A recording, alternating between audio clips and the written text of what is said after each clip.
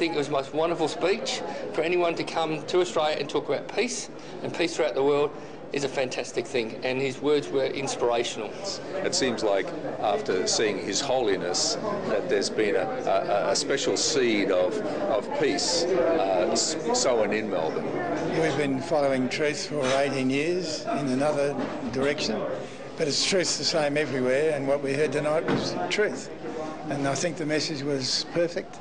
The love for all, hatred for none is a fantastic message, um, and it, it's, some, it's something that, uh, that the entire community should embrace. I love your values, and I wish that more Australians espouse those sort of values. And I can see why he um, is getting on with the heads of governments of other countries, and I wish all um, Islam leaders were like that, and we wouldn't have any trouble in the world. But when I heard the words of uh, His Holiness, I was really impressed the uh, words of wisdom which he uh, gave us, and I think the world will be a better place if you all listen to uh, people like himself. It was an honour to meet a world leader who had such a positive message and it was good to see that his community were engaging with the, the broader Melbourne uh, community as well. And fortunately, there's someone like him to say it to world leaders, to politicians, to get their attention, because someone has to get their attention, and he lives it. It's inspirational. He said, uh, peace begins with you. Peace begins at home. If you have peace in you, it means that you are projecting peace. And if every one of us had peace, it means that we'll be projecting peace to each other. That was very uh, fundamental. That was very key to me. I was. I can see why he's a, a, leader of world peace because he said exactly what I wanted to hear. And I certainly share a lot of his sentiments around our need to get to a place where we can understand the differences of people, so that we can come together and find the similarities. So I was quite moved by his speech. When I was shaking hands, he was looking. We were looking into each other's eyes. Special. I've never seen people with so much smiles on their faces. Ahmadi smile a lot. It's wonderful. Part of his tour of the Far East, Hazrat Khalifatul Masih V, may Allah be his helper, delivered a keynote address to a gathering of more than a hundred distinguished guests at a reception held in his honor in Melbourne on the 11th of October 2013.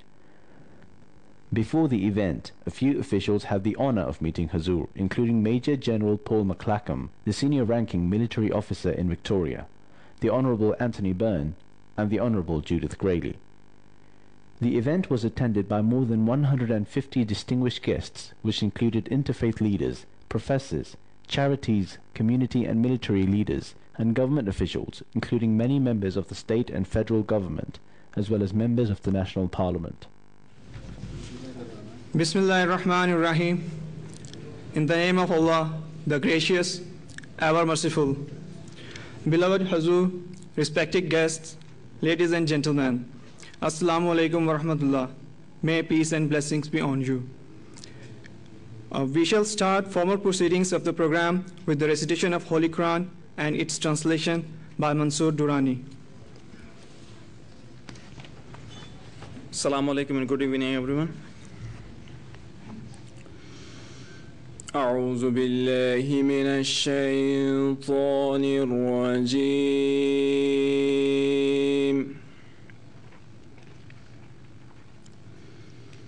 بسم الله الرحمن الرحيم.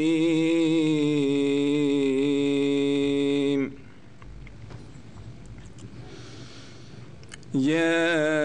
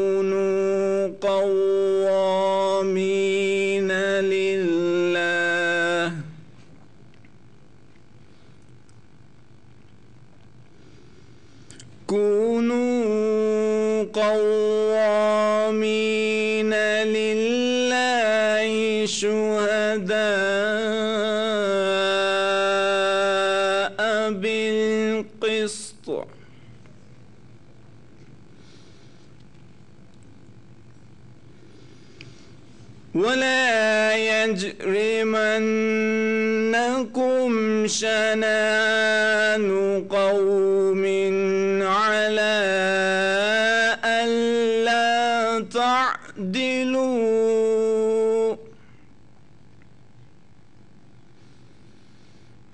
اعدلوا وأقرب للتقوى.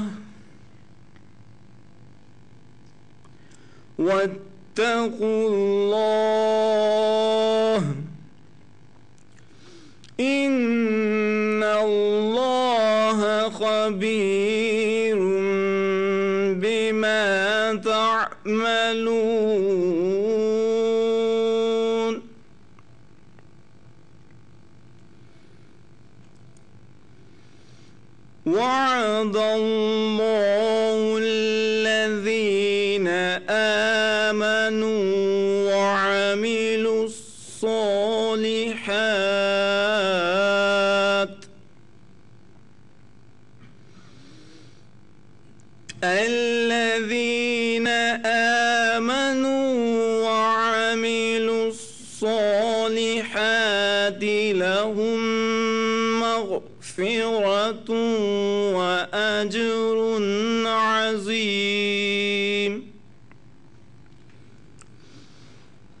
The translation for the verse recited from Holy Quran, chapter 5, verse 9 and 10 follows In the name of Allah, the gracious, the merciful, O ye who believe, be steadfast in the cause of Allah, bearing witness in equity, and let not a people's enmity incite you to act otherwise than with justice. Be always just, that is nearer to righteousness and fear Allah. Surely Allah is aware of what you do.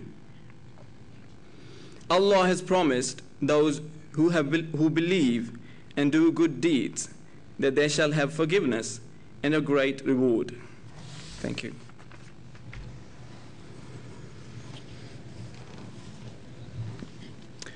Now I would like to request Mr. Safdar Javed Chaudhry, the President of the Ahmadiyya Muslim Association, Victoria, please come forward to deliver the welcome speech.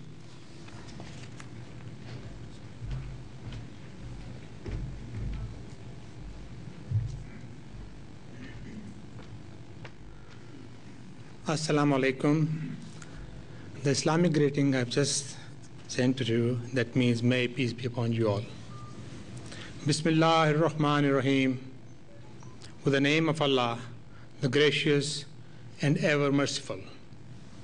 Beloved Hazur, honorable guests, ladies and gentlemen, please allow me to take this opportunity to welcome you all to this special reception with His Holiness Hazrat Mirza Masroor Ahmad, Supreme Head of Worldwide Ahmadiyya Muslim Community, and the fifth successor and the fifth successor to the founder of Ahmadiyya Muslim movement in Islam. At the outset, I record my respect and acknowledgement for the traditional owners of the land on which we are gathered today, and indeed for all Australia's indigenous people who enduring, whose enduring culture has nurtured this continent for tens of thousands of years. It is a matter of great pleasure that we have been graced by this auspicious occasion with the presence of you all. Please accept our sincere gratitude and appreciation for joining us at this historic occasion in the history of Victoria and Australia. It is a matter of pride for us that we have honorable members of parliament, members of six city, city councils, city mayors, representative of indigenous communities, leaders of various faith and community groups, government officials, members of police department and armed forces, foreign consul, journals, interfaith leaders, professors, authors, media representatives, and most importantly, our wonderful neighbor in Langwarrin. I welcome you all as each and every one of you is important and respectable to us. Looking at the history of Ahmadiyya in Australia, Ahmadiyya Muslim community in Australia was formally established in the early part of 1980s and has its national center in Sydney. However, the message of Ahmadiyya reached to the shores of Australia long earlier through Hazrat Hassan Musa Khan, who converted to Ahmadiyya in Islam in 1903. Following the traditions of other chapters of Australia, Ahmadiyya community in Victoria has been on front foot for promoting the message of peace, harmony, loyalty, and tolerance through the active participation on Victorian and national level. Victorian chapter of Ahmadiyya community has been actively participating and contributing in wider community activities like celebrating Australia Day regularly, interfaith dialogues net- and networking, Clean Up Australia Day, Red Cross Door Knock Appeal, Peace Symposium, blood donation drives, fundraising, and volunteer work towards the relief of natural disasters, including bushfires, earthquakes, and floods. Dear audience, a unique feature of our community, which is also the driving force behind our worldwide efforts towards peace and harmony, is Khilafat or spiritual successorship. His Holiness is a spiritual leader and guide to tens of millions of people around the world, and his directives are aimed at fostering absolute justice, human welfare, and social harmony. His Holiness Hazrat Mirza Masroor Ahmad is the worldwide leading Muslim figure promoting the peace and interreligious harmony. We are very fortunate and blessed by his visit and presence with us here in Australia nowadays. At the end, it is my humble prayer and supplication that may God, the Allah gracious, enable us all to work together for the peace, prosperity, and betterment of this world and humanity. At the end, once again, I thank you and welcome you all for your kind attention and participation in today's event. Thank you very much.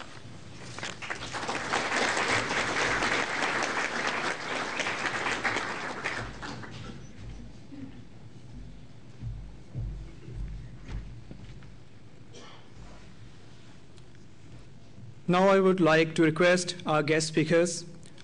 Our first guest speaker is Sandra Mayer. She is the mayor of the city of Frankston. Sandra Mayer, please come forward.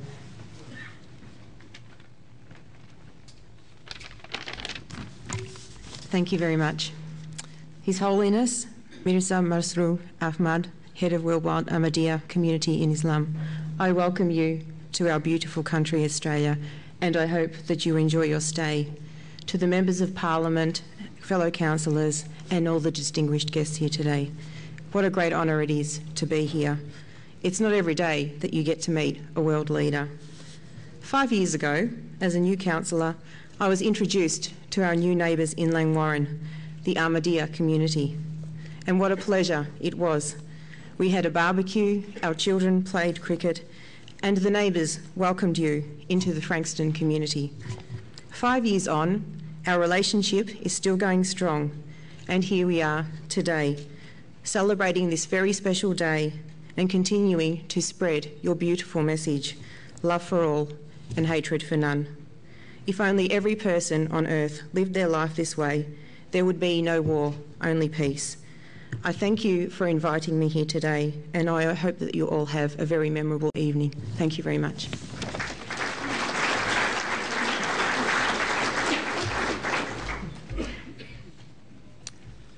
Thank you, Sandra. Uh, our next guest speaker is Judith Graley.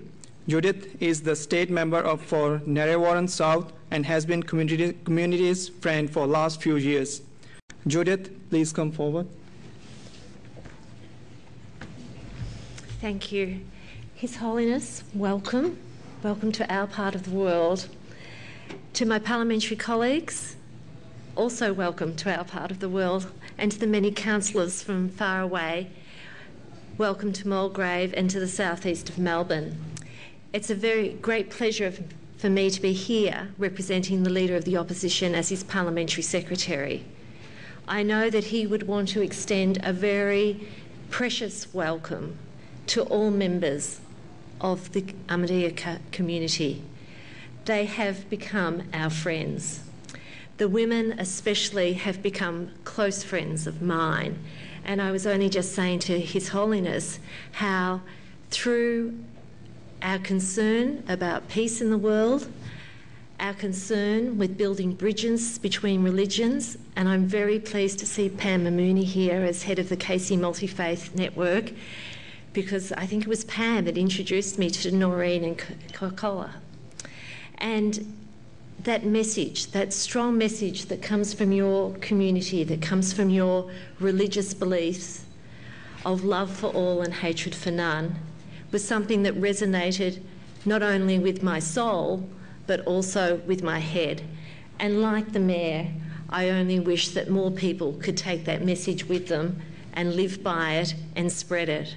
So I'm very pleased to welcome you on behalf of every member of the local community here tonight. Uh, congratulations to the organisers of this evening as well. It is just magnificent to look out here and see everybody here. So thank you.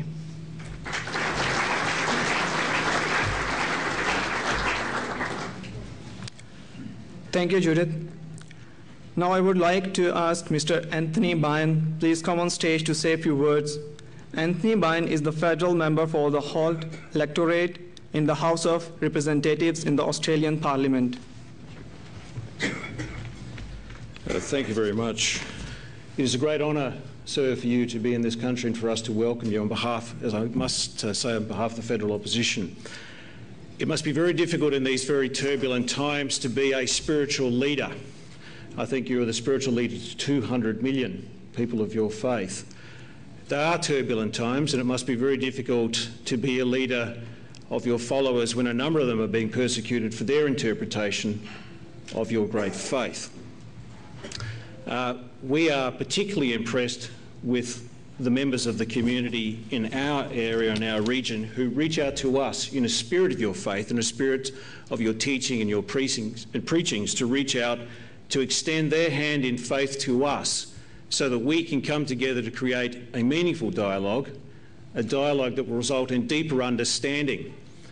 And if I can use Your Holiness the example of your local community, the work that they do in trying to reach out to us and the works that they do to benefit of the community in keeping with your teachings do great credit to you and to the people that follow your faith. As I said, we live in troubled times. Perhaps those that are debating what occurs in the US Congress, perhaps those that are debating what happened in world affairs could take heed of your great example. There really does need to be dialogue in this country, not just through religious faiths, but through political parties, through communities. I know there's Michaelis Michael from La Trobe University, and I think it's the Centre for, for, for Dialogue and Interfaith Dialogue. It's quite critical. We know what separates us, but what we need to remind ourselves is what brings us together. And so, Your Holiness, it is a great honour, as I've said on behalf of us all, for you to be here sharing your faith, your presence with us tonight. I wish you well in your travels and your journeys, not just here, but for the rest of your life. Thank you.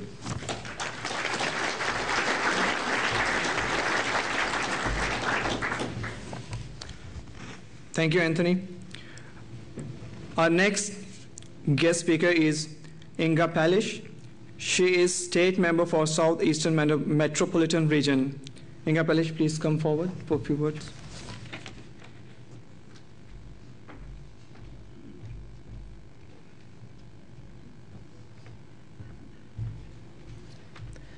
Good evening, ladies and gentlemen, and I'm honoured to be able to join such an auspicious occasion, uh, which is which has been convened to welcome uh, His uh, His Holiness, uh, a leader in a in a religion that uh, preaches peace, uh, something that, of course, we as Australians, which is the home to such a large multicultural community, endorse and it's as a result of uh, our willingness to and, and uh, need to associate ourselves with those religions, uh, those people who uh, share our view that, uh, that we need to respect diversity, we need to understand uh, each other's differences, we need to understand and respect each other's religious freedom, that we come together as a, as a mark of respect to welcome you, of course, to Australia. And I think it's delightful that we have uh, so many levels of, uh, of uh, our community represented here from the federal members of parliament. And so to be associated with, uh, of course, um, your um, uh, religion, uh, especially your emphasis on love for, love for all and, of course, hatred for none is something that is integral to the success of our society and success of humanity.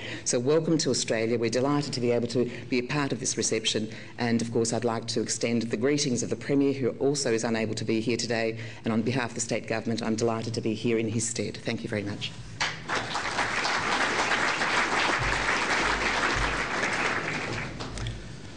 Thank you, Inga Peulich. Our last guest speaker is Major General Paul McLachlan. Major General is the headland systems, and today he is representing Lieutenant General David Morrison, Chief of Army. Major General, please come forward.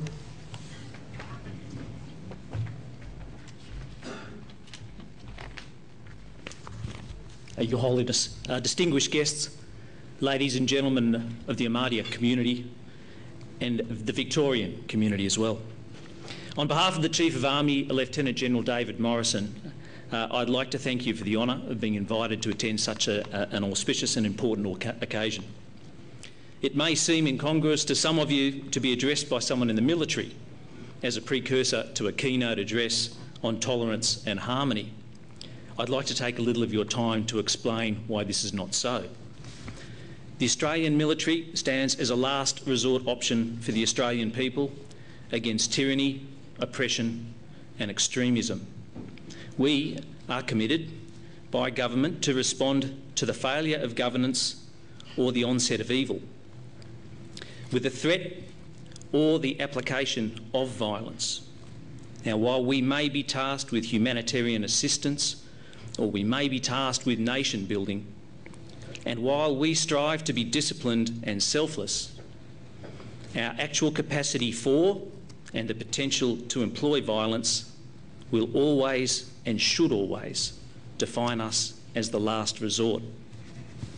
The message and teachings portrayed by His Holiness and represented by the Ahmadi community should be our first resort and enduring practice. The promotion of peace, tolerance and love for all across our community is fundamental in the establishment of trust and understanding amongst all peoples. In teaching the community what is right and fair, good governance is supported and nourished, and evil is marginalised. The Ahmadi philosophy develops these behaviours through leadership and by example rather than by threat or coercion. We of the last resort crave the success of the first resort. The key themes espoused by His Holiness in many of his addresses, those of religious tolerance, loyalty to country, rejection of extremism, rebellion, disorder, commitment to community and the pursuance of peace, they resonate with the key values of the Australian military and all true Australians. I honour the sacrifices and risks you take to bring these messages to the world and thank you for your gracious visit to our country. I very much look forward to your address.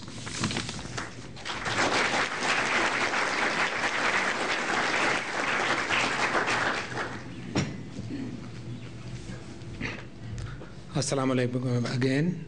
Ladies and gentlemen, the personality which we have gathered to, together today to hear to the person for the keynote address, and this is the time now. I'll request Hazrat Khalifatul Masih to come for the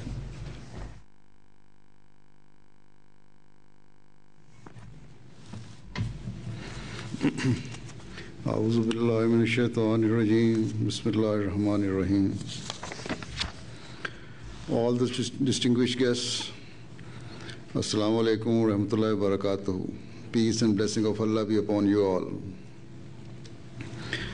Before moving on to speak about those critical matters that the world stands in urgent need of, I would like to first of all take this opportunity to thank all of you for accepting our invitation and joining us here today.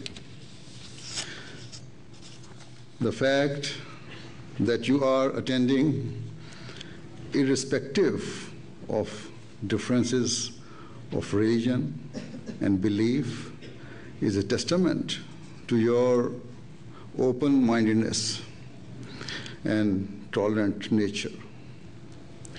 Certainly, keeping in mind today's materialistic world, the fact that you have you come to listen to the words of a religious person is proof of your enlightened minds and broad, uh, broad vision.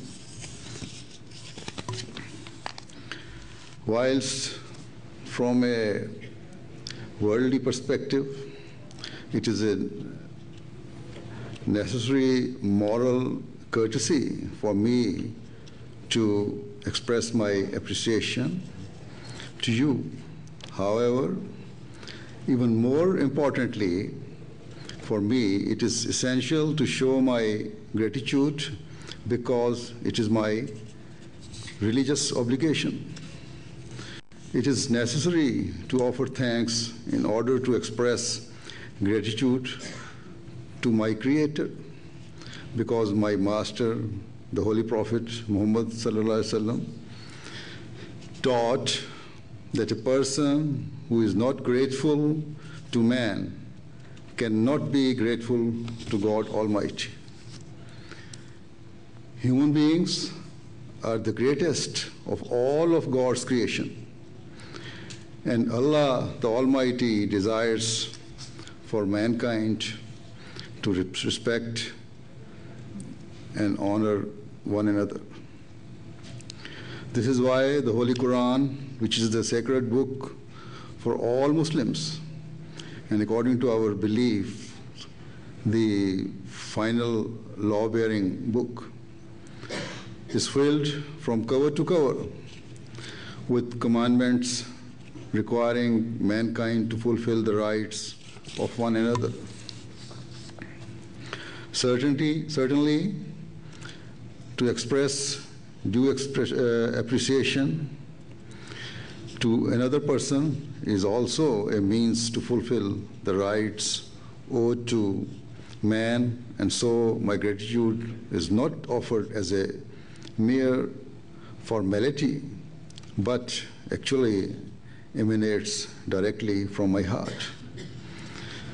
Thus, I hope it is clear that my heartfelt appreciation is expressed not only in order to uphold high moral courtesies, but in order to gain the pleasure of God Almighty. With these brief words of introduction, I would now like to discuss some issues of great concern, which are taking people far away from fulfilling the rights of each other in today's world. Certainly, the critical state of today's world is visible to all. The financial crisis that occurred a few years ago has completely shaken the world's economy to its very core, and the effects continue to be felt today.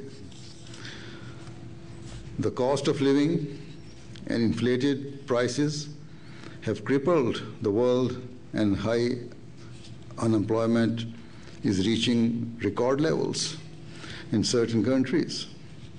A number of European countries have become consumed by debt and even bankrupted. And this is not just a European problem.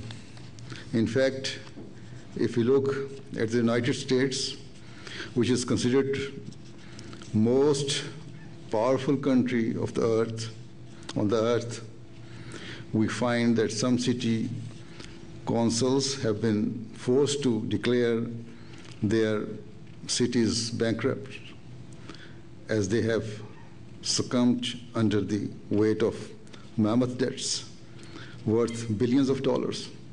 Even now, the federal government has reached to the point that some of their offices have reached to the point of shutdown. This is the state of the developed countries, whilst the econo- economies of underdeveloped nations have always been in trouble. Compared to much of the world, Australia is to some extent stable. However, it has also been affected by the world's financial crisis. In today's global age, the world has come together like never before. Thus, the problems faced by one country have a knock on effect on other nations, while successes in one country have a positive effect on others. Bearing this in mind, it cannot be said that any country is free from problems or immune to the global debt crisis. Furthermore, we find that the world's financial crisis had not yet been resolved when another huge crisis took root in some countries. This crisis I'm referring to particularly affecting the Arab world and Muslim countries and came to be known as the Arab Spring. In various countries, members of the public began to stand up against their rulers and governments. Huge protests and marches took place. Massacres and killings occurred, leading to thousands of people being murdered, and still today, thousands are continuing to lose their lives. In some countries, the rulers were able to suppress the protests and control the situation. However, in others, the rulers faced very tough and even brutal consequences. Today, there are still some countries ravaged by war where the governments are continuing to face huge rebellions. The major powers have become involved in some of these conflicts by supplying weapons and money to the rebels in the name of assisting the people.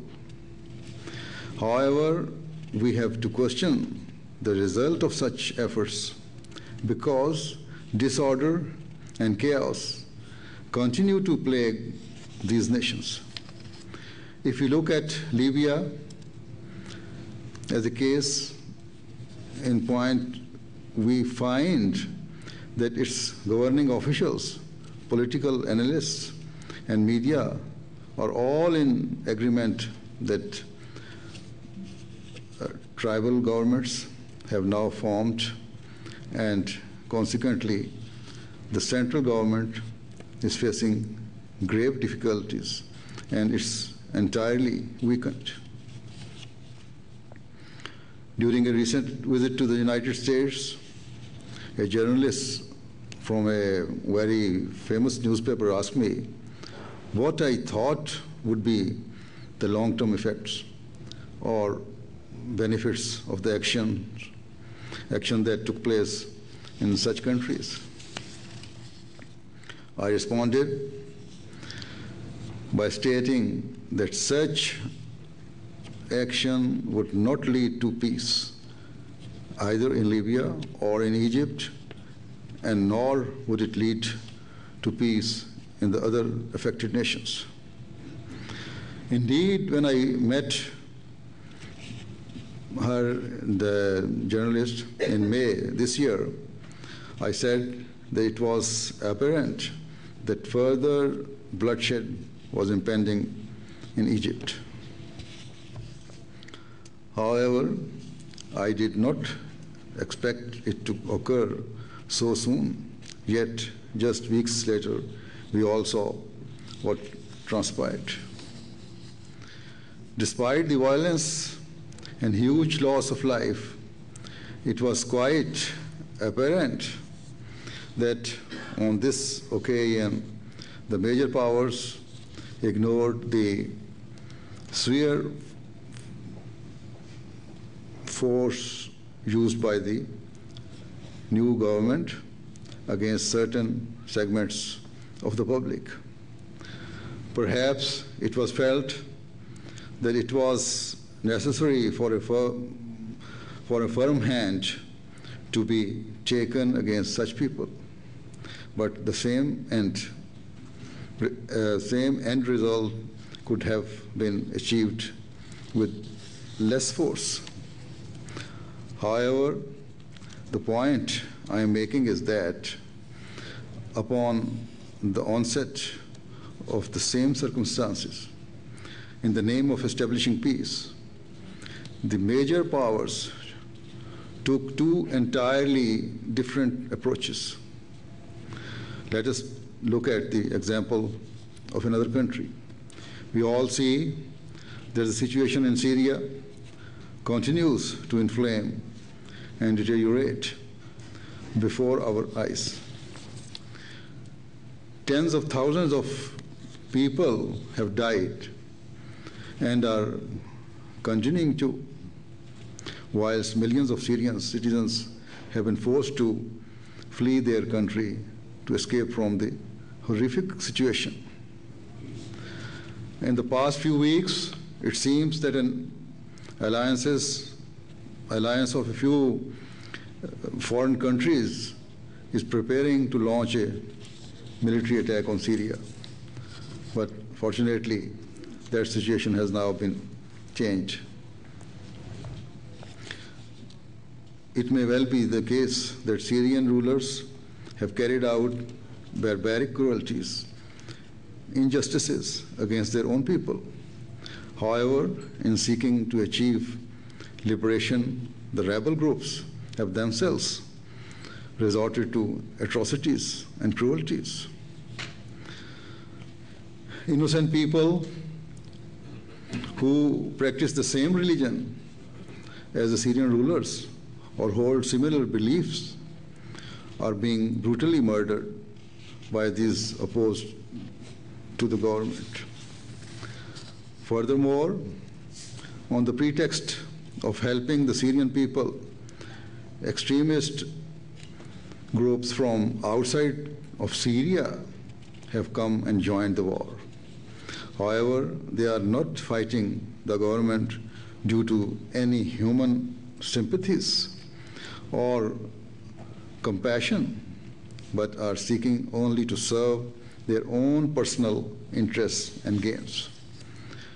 Syria's government has claimed that it has not used any chemical weapons, and rather it counterclaims that the rebel groups have used them. Outside agencies and inspectors have said they have evidence that chemical weapons have been used in Syria, but there does not seem to be any evidence to prove who has used them. but now these agencies are there in Syria to destroy those weapons. We just pray that Allah help them to do uh, to, to succeed in their action. God knows better what the truth is. The state of affair in Syria has not only destroyed the peace and harmony of the region, but is also destroying the peace of the entire world. An important principle is that if any country commits cruelties or transgresses, then first and foremost, it is the duty of the neighboring countries to step in and stop it. Some, uh, some months ago, a very wise suggestion was made by Israel's president in relation to solving the Syrian crisis. He said that whilst the world's major powers could provide Syria's Arab neighbors with weapons or support, any action taken to try to uh, try and establish peace should comprise only Arab forces. He said that if Western or non-Arab armies were to become directly involved, then the peace of the world would further deteriorate. Indeed, it is entirely accurate to suggest that an attack on Syria will be a means of provoking a third world war. Two major opposing blocs would form. In fact, they already have. We find that Russia and China and some of their allies are assisting and strongly supporting the Syrian government. As I said, there is a serious risk of a world war, and if we want to avoid it, then policymakers will have to make decisions with wisdom and with great consideration. What does Islam teach about establishing peace in such circumstances? Chapter 49, verse 10 of the Holy Quran says, And if two parties of believers fight against each other, make peace between them. Then, if after that one of them transgresses against the other, fight that party that transgresses until it returns to the to the uh, to the command of Allah. Then, if it returns, make peace between them with equity and act justly. Verily, Allah loves the just. Uh, the just. And so, this is the method which should have been used by Syria's neighboring countries to bring about peace between the government and the opposition groups. Unfortunately, this approach was not adopted from the outset. And so thousands of people have been killed and hundreds of thousands have been left homeless. In reality, it was the task of the Organization of Islamic Conference to unite and work towards peace in the region. However, rather than as, assume their duties, the Muslim countries invited Western countries from outside the region to try and bring peace. Or perhaps the Western countries chose to invite themselves. What will the end result be?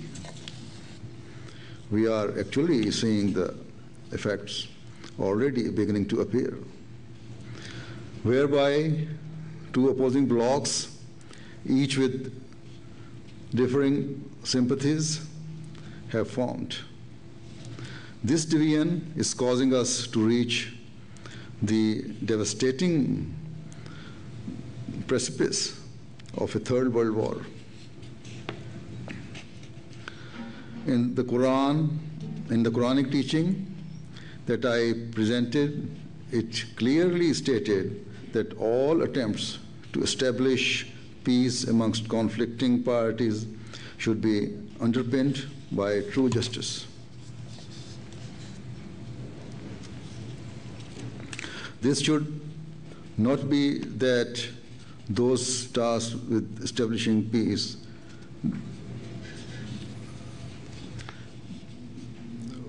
tasked with establishing peace demand regime change as a necessary precondition, and that they then hand a particular group the key to the government. If the party that has transgressed agrees to fulfill the rights of its citizens and to treat them with fairness and equality, then those who have come as peacemakers should not set unjust or unwarranted conditions. They should not use more force than is proportionate or required because that will only lead to the situation spiraling further out of control. Islam teaches that when a third party seeks to bring about reconciliation between two warring um, factions, it should act impartially and with true justice. Certainly, the teachings I have presented are the true and beautiful teachings of Islam. If Muslims were to follow this guidance, we would not find a state of restlessness amongst the masses because unrest is only triggered when a person's due rights are seized or not fulfilled. Where decisions are made according to true principles of equity and where the rights of all people are fulfilled, only peace and harmony will be found. Regarding the fulfillment of the due rights of one another, there are many other profound teachings given by Islam. However, due to the shortage of time, it is not possible for me to cover them here today. Here, I would like to point out that this golden principle given by the Quran is not only for Muslims, but in fact, it is a universal truth that in order to establish peace, justice must prevail. Unfortunately, when in the name of bringing peace, major powers interfere in the matters of other countries, they do not uphold the requirements of justice to the necessary degree or in minute detail. During a visit to the United States, I also addressed their senior politicians and policymakers.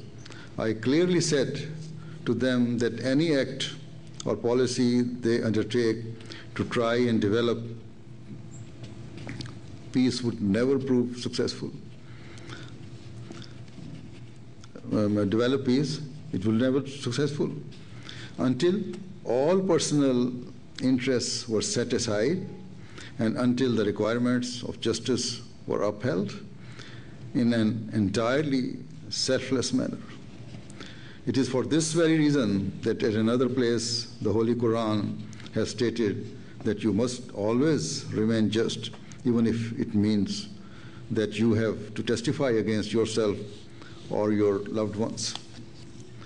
And so the point I make is that it is the duty of major powers and the United Nations to strive to bring about peace and reconciliation through equity and fairness.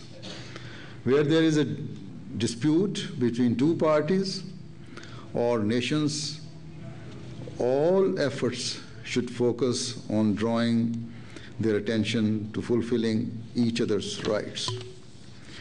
Where a peace deal or agreement is reached, then neither the major power nor the United Nations should seek to further their own political objectives from any nation or group. If we cast a glance over history, we find that the League of Nations fundamentally failed in its objectives because it was not acting upon the aforementioned principles. Its chronic failure to establish justice led to unparalleled devastation when the Second World War occurred. Similarly, if we fast forward to, uh, to today, we find that the United Nations is not fulfilling its role as it ought to and often remains silent on many issues. Further, the leaders of the major powers openly challenge its authority and state that they do not need the permission of the United Nations and that it is their right to act as they please. They say that if they wish to attack Syria, they are free to do. They should realize that they um, that by completely discarding principles of justice on the pretext of fulfilling the rights of others and whilst sitting thousands of miles away will undoubtedly only lead to strife and disorder. Through such acts, all people will be affected. The world has come together like a global village, and so such disorder will not be contained but will encompass and consume the entire world. This is the reason why I say time and time again that we should make every possible effort to save the world from a third world war. If such a war was to occur, then there would not only be a threat of chemical weapons, but rather there is a very strong likelihood that nuclear weapons would also be used. The horrific effects of atomic warfare are indescribable and would be felt for generations to come. And so I would request all of the influential figures in this country, be they politicians, dignitaries, or intellectuals, to recognize that because Australia is also one of the countries of the world, they too should play their respective roles in making every effort to transform the state of disorder and injustice into a state of peace and harmony. May it be that your future generations come to thank and pray for you rather than curse and abuse you for the legacy left behind. At the end, I would like to once again thank all of you for taking the time and effort to attend this function and to listen to what I have said. May Allah bless you. Thank you very much.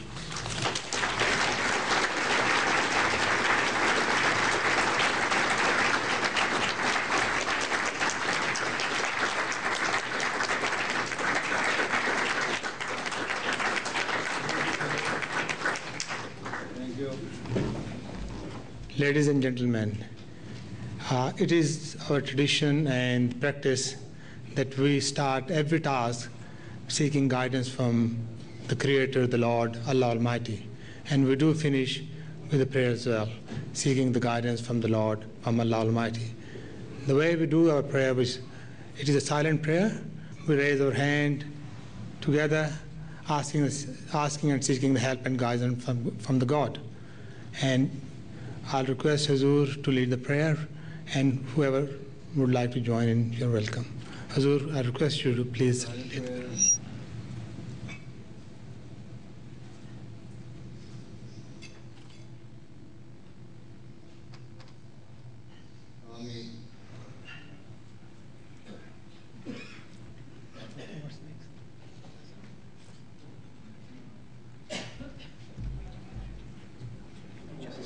Loved it. I was. I can see why he's a, a leader of world peace because he said exactly what I wanted to hear, um, and um, he touched on the countries and the problems of the world, and I can see why he um, is getting on with the heads of governments of other countries, and I wish all um, Islam leaders were like that, and we wouldn't have any trouble in the world.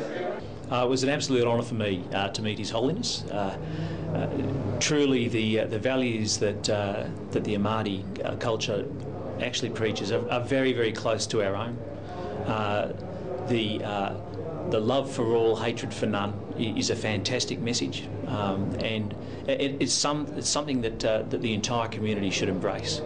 I found it compelling listening the message was very strong, and I think the message that he had to deliver us was a special one, and it's one that we should all take on board in everything we do, irrespective of your religion. It doesn't matter what you believe, but I think there the universal message about uh, peace, uh, non-violence, justice, and service uh, was something that we should all take with us tonight and try and live by. I found His Holiness and his message and his speech to be one of uh, obviously of peace. He's obviously a man who's given and who's very committed to peace amongst uh, the world. And uh, I found him uh, extremely illuminating and informative.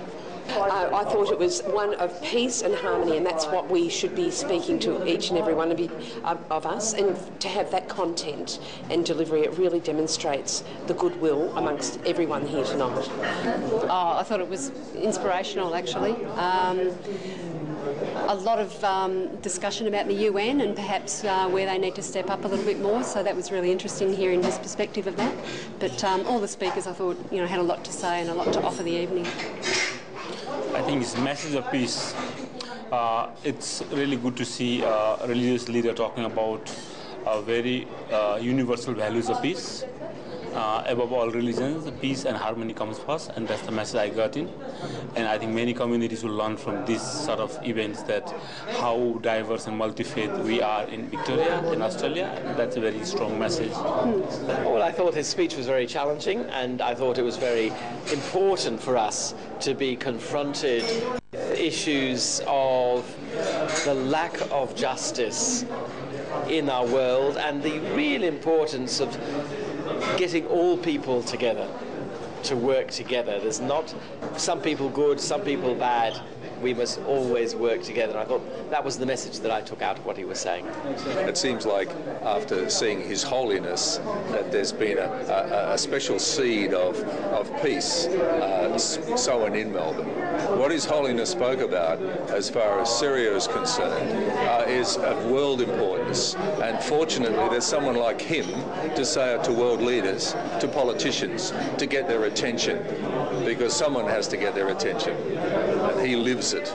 It's inspirational. I actually, had uh, an opportunity to go up to him and uh, have a, a, little chat with him. I asked a specific question about uh, interface and peace building, and what he told me was very inspiring. Uh, do you want to know what he told me? He said, uh, "Peace begins with you. Peace begins at home. If you have peace in you, it means that you are projecting peace, and if every one of us had peace, it means that we'll be projecting peace to each other. That was very uh, fundamental. That was very key to me.